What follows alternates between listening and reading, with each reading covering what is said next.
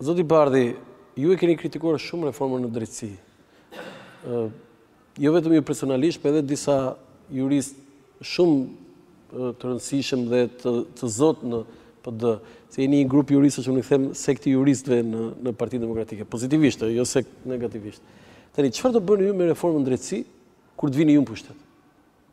Konkretisht, se kjo, mos më thuaj edhe për këtë që s'jam këtu për të dhënë kësaj përgjigje. Jo, jo, nuk të jap përgjigje për... Si? Nuk të të kam thënë, për asnjë pyetje s'do të jap...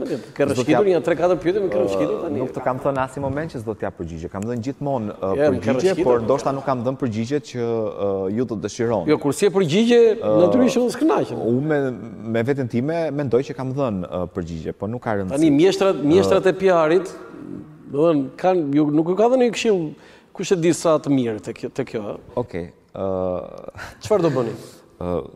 ne qëndrimi i Partisë Demokratike ka qenë gjithmonë koherent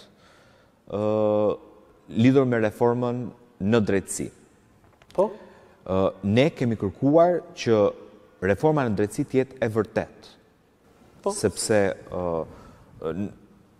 pas njëzet e pesë viteve të një drejtësie të deformuar, kishte ardhur vërtet momenti për të patur një reformë të vërtetë në sistemin e drejtësisë. Po. Dhe ajo që ju quani kritikë, në fakt nuk ka qënë mirëfilltazi kritikë, por ka qënë një angazhim serioz i Partisë Demokratike për të kontribuar që reforma të ishte reale dhe të mos shërbente si mundësi që qeveria apo faktorë të ndryshëm të deformonin reformën. Ne do të garantojmë zbatimin korrekt të reformës në drejtësi dhe do të bëjmë atë që jemi duke bërë tani. Do ishte një dhe pësës do vinit PD-së?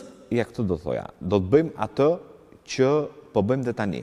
Nuk do ndërhyjmë në çështje që lidhen me organet e pavarura të sistemit të drejtësisë.